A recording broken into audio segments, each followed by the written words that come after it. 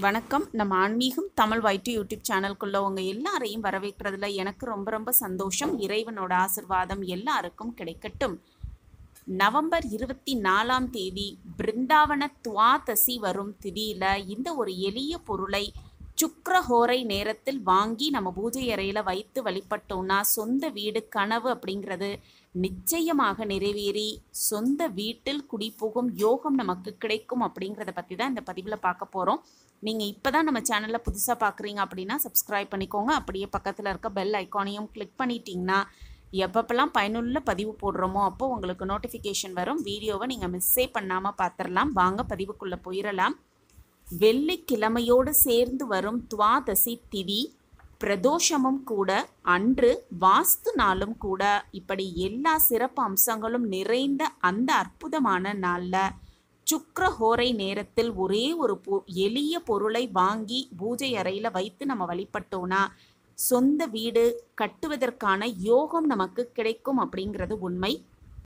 கார்த்திகை மாதத்தில் சுக்லபட்ச ஏகாதசிக்கு மறுநாள் வரும் துவாதசிக்கு பிருந்தாவன துவாதசி அப்படின்னு சொல்லுவாங்க.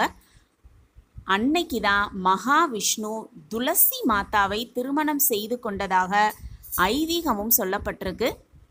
மகாலட்சுமியோட அம்சம் நிறைந்துள்ள துளசி செடியானது அந்த துளசியானது மகாவிஷ்ணுவோட மனைவி அப்படின்னே சொல்லப்பட்டிருக்கு.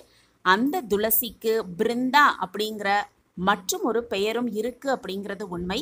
அவ்வளவு சிறப்பு வாய்ந்த அந்த துவாதசி திதி அன்னைக்கு வாஸ்து நாளும் சேர்ந்து வருவதனால சுக்ரஹோரை அப்படின்னு சொல்லப்படுகிற காலை ஆறு மணியிலிருந்து ஏழு மணிக்குள்ள நெல்லிக்கனியை வாங்கிட்டு வந்து பூஜை அறையில் வைத்து வழிபடலாம். அது மட்டுமல்ல துளசி செடியை அன்னைக்கு மனசார நினைத்து நம்ம வேண்டிக்கிட்டோன்னா சொந்த வீடு கனவு அப்படிங்கிறது நிச்சயமாக நமக்கு நிறைவேறுவதற்கான வாய்ப்பு நமக்கு அருமையாக கிடைக்கும் அப்படிங்கிறது உண்மை.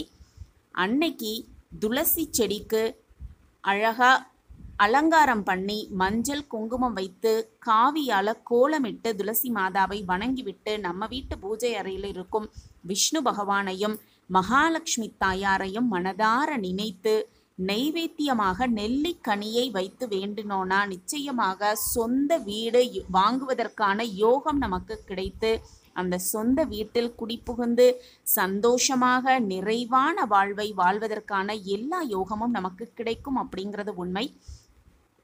மறக்காம வெள்ளிக்கிழமையோடு சேர்ந்து வரும் துவாதசி திதி அன்னைக்கு நெல்லிக்கனியை வாங்கி பூஜை அறையில் வைத்து வழிபட்டு அந்த நெல்லிக்கனியை நம்ம பிரசாதமாக உட்கொண்டு சொந்த வீட்டில் வாழ்வதற்கான யோகத்தை கிடைக்கப்பெற்று வாழ்வில் சகல சௌபாக்கியத்தோடு வாழலாம்.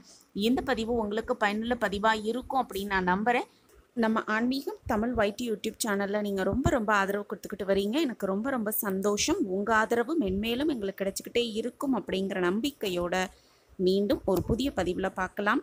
நன்றி. வணக்கம்.